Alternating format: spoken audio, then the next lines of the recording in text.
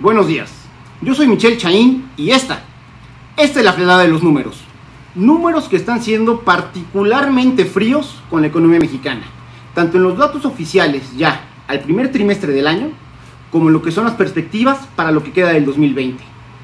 En ese sentido, comentarles que tanto el Fondo Monetario Internacional como el Banco Mundial estiman que la caída en el Producto Interno Bruto Global, es decir, de todas las economías del mundo, va a ser de algo así como del menos 3 puntos en el PIB, eh, todo esto asociado al impacto económico del COVID-19, es decir, del coronavirus.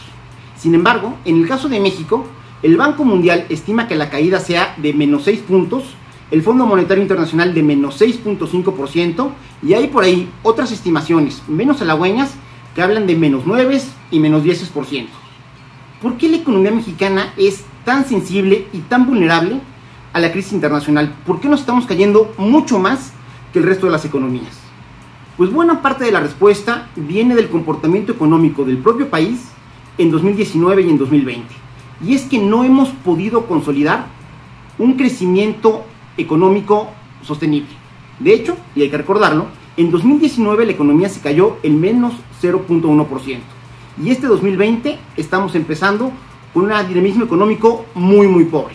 De hecho, y ya son los datos oficiales por parte del INEGI, el PIB este, estimado que se presentó la semana pasada, si comparamos el último trimestre de 2019 contra el primer trimestre de 2020, tenemos una caída del menos 1.6%, que de suyo ya es un dato como para levantar cejas. Pero el dato es mucho más interesante si comparamos el comportamiento del primer trimestre del 2019 contra el primer trimestre del 2020.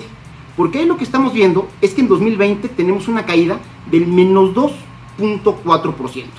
¿Esto qué significa? Que en los primeros tres meses del año estamos teniendo un dinamismo económico todavía por debajo del de 2019, que como ya lo dije, fue un año en el que no crecimos.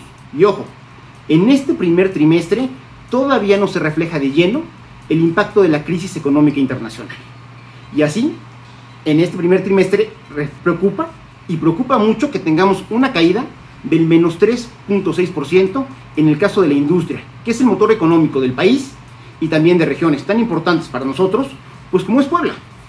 Y en ese sentido, comentarles que ya son cuatro trimestres consecutivos en los cuales la economía mexicana es incapaz de crecer. En el segundo trimestre de 2019, viéndolo con datos, este, con cifras originales, tuvimos una caída del menos 0.9%. Para el, tercer trimestre la caída fue del menos 0.3%, para el cuarto trimestre de menos 0.5% y en el primer trimestre de 2020 de menos 1.6%. De tal manera que lo que está haciendo la crisis es venir a profundizar todas esas deficiencias que venimos arrastrando como país y que explican que no podamos crecer. Y si alguien todavía duda de la importancia del crecimiento, déjenme compartirles algunos costos de no crecer.